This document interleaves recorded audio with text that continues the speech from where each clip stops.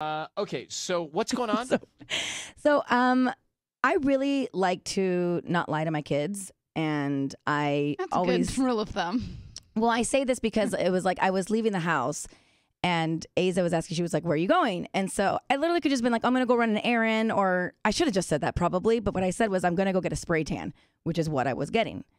And so trying to explain what a spray tan is to a four year old is very confusing because she was just like, Well, what is that? And I was like, Oh, they're just gonna spray some paint on my body.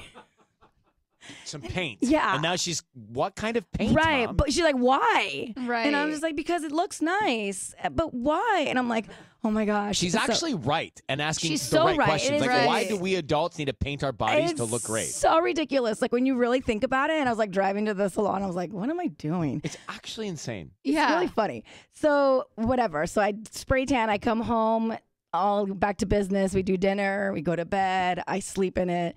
All that. The next day, I'm picking them up at school, and I got there too early, so they got upset with me because they were going to go out to recess. And so I was like, okay, fine. So I sat in like the little courtyard and watched them play in the jungle gyms for like ten more minutes.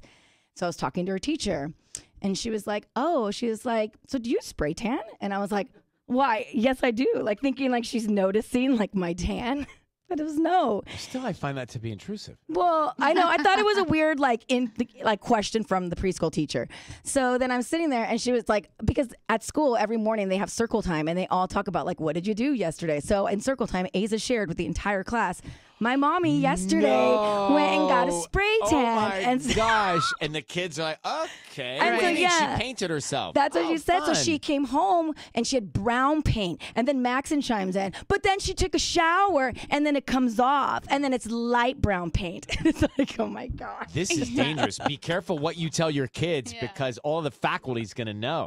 So when the teacher said to you, "Do you get a spray tan?" What did that? Where did I- that go? I really said, I said, yeah, because I thought like she was noticed that she was complimenting me on my tan. Yeah, you're like, "You want the basically. info? Here's the Yes, like I'm number." like it's right down the street. You know, it's Oh, like oh, oh but, no. yeah, and I was like, oh my Well, first of all, a couple things. First, be careful. Now that Michael is in a band, soon they're going to say, "Is your husband a rock star?" Because that's going to be shared in the circle.